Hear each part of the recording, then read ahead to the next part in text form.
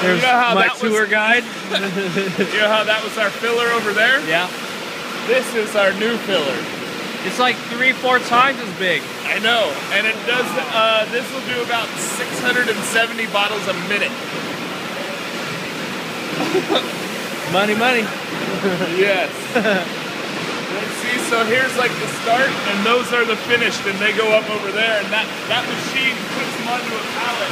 Gonna 75 cases on there, get them all squared up. Then they take it, put it on the wrapper. But, so yeah, they go.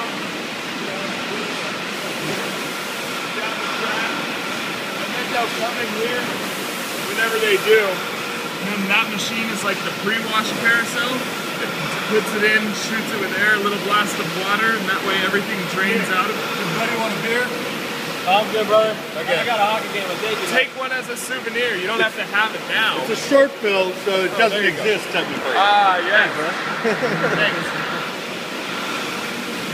Maximus. Maximus. India Pale. So they go through here, you know, and then they come out on that one, and there's the filler part. Those, each one of those will pick up the bottle, Uh huh. shoot it with the CO2. It goes around there, and it gets filled with beer.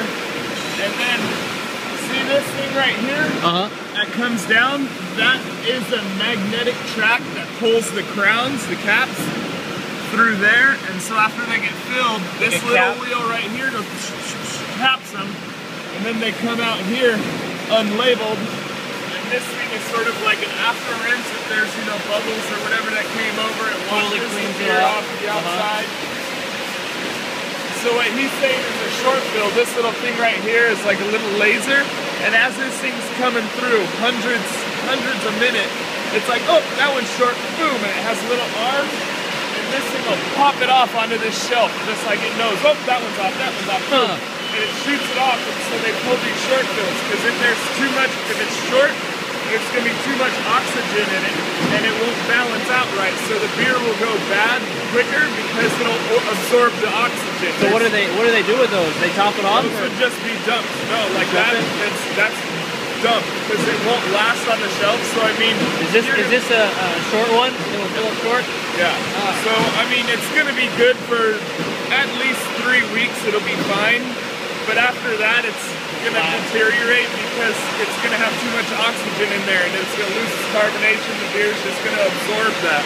Huh. Dude. so, all these, you know, they come through here. Oh, labeling's starting to go. Let's check that out. Where's a good view? Right here, right? Yeah, look at the arms. This one. I've actually never really seen it set by the new one. And then those brushes slip it on after this thing. It grabs them off here and gets a little bit of glue off the wheel on the inside there. And then that spins around, hits it on the label, and then those brushes are just It's cool, man. this is cool. And let's see, let's see how the boxes are made.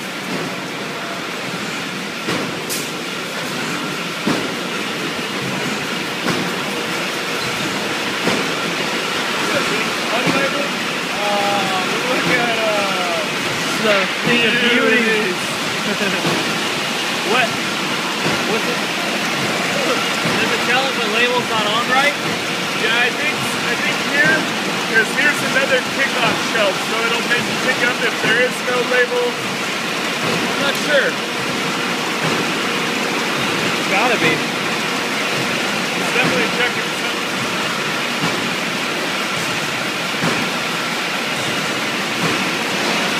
And here's the box case erector. How often do you guys change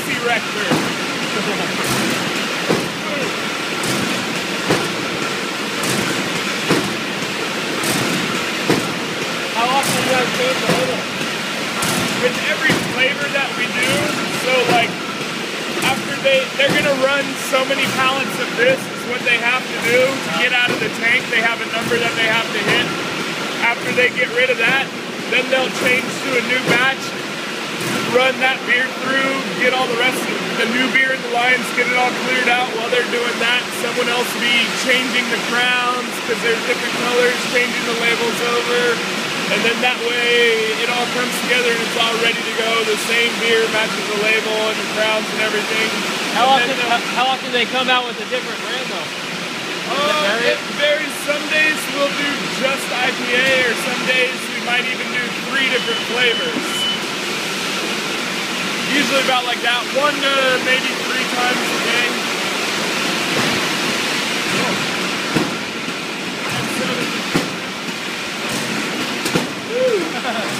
Little hops. when they put these in, so the glass doesn't smash against each other in shipping.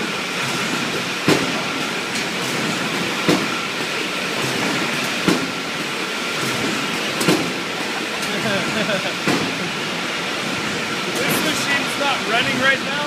What does that do? That's the six pack stuffer. So when they're running the, the 12 ounce ones, those cases will come through here side by side, get uh-huh. stuck with the six pack carriers. And those things open them up and then they have vacuums that shoot it. And that thing picks up the case and stuffs it with four six pack carriers. All at the all at the same time? All six? Yeah. And then they go down the drive.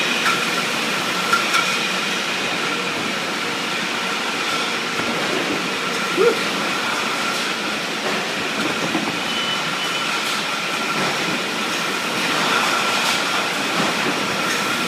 my god. So this is the case dropper. I always knew you wanted to be like Homer Simpson. This is saying 20 cases a minute, 21 cases a minute. Oh dear.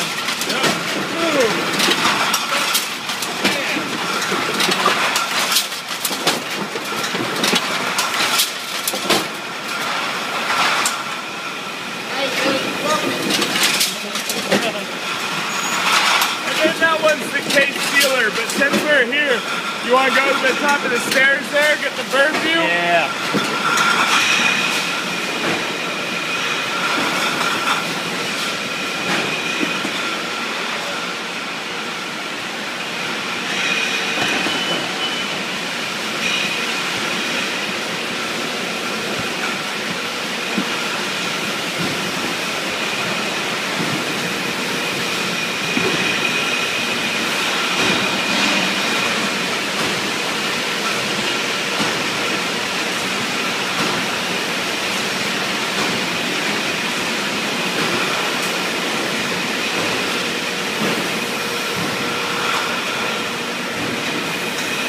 Dude, about bottles would you say go through here in one day?